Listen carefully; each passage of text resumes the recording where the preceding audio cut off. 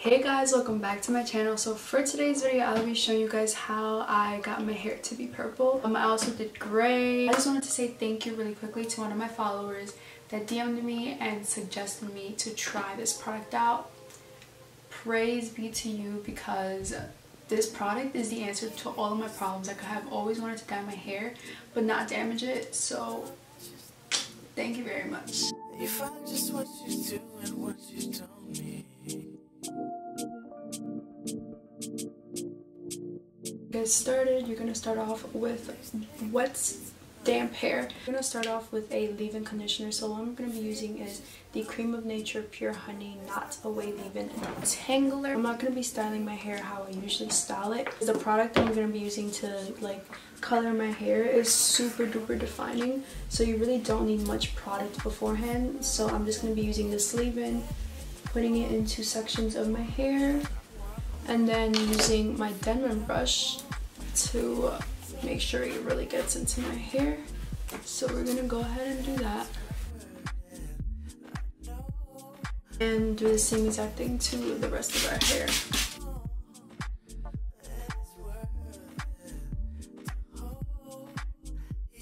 Now that we have our hair all nicely freshly detangled, washed, put the leave-in, now we can get into the fun part. But the product that I'm going to be using to color my hair is this hair paint wax, a splash of color. I used this before to get my hair to be silver, but for today I'm going to be showing you guys how to do red.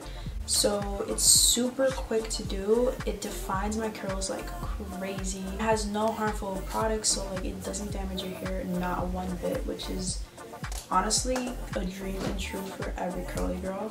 Go ahead and section off the bottom of my head to make it easier and more manageable. Now you can do this on either wet or dry hair, but I've heard it's better to do it on damp hair, so do it on damp hair.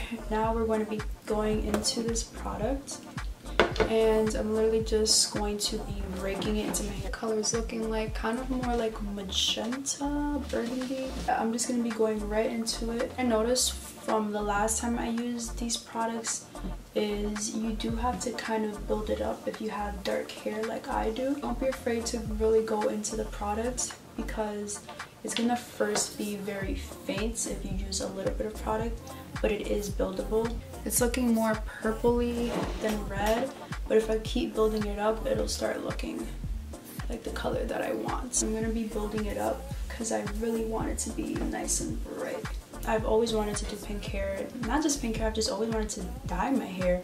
But I've always been scared of, you know, of course, damaging my hair. One day, one of my fellow subscribers, one of my followers on Instagram, God bless her heart, she DM'd me and said, you should try out these products for a video. And I was like, girl, I got you. I'm also working in smaller sections to make it easier to build up the color. it would be so funny when I was younger, beg her to get my hair colored or just anything like I just wanted my hair to look cool and she of course would always tell me no. If I knew about this earlier, if this was out there earlier, gotten it, did this to my hair and then been like, mom look I dyed my hair and she would have gone absolutely ballistic.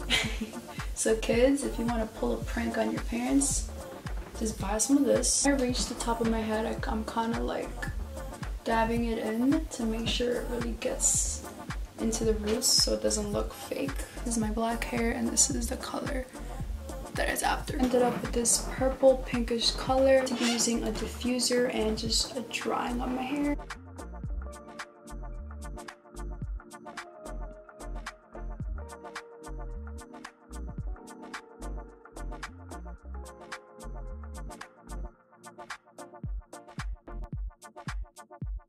Really quickly, I just wanted to give more information about this product for those of you that may want to try it out. This color right now that I have in is now third day hair. This product does come off a little bit. It came off on my brush when I was picking up my hair and it got on my clothes, on my neck, stuff like that. But it does wash out pretty easily. I was worried a little bit that like after the days went by, it would like fade away but it doesn't really do that. Like it fades away to the slightest bit so that's not really something you need to worry about. But always like reapply. That's it for this video. Make sure to subscribe because you're already here.